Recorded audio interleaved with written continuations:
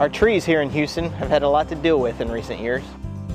Drought, extreme heat, hurricanes, not to mention insect problems like borers and diseases like hypoxylon canker.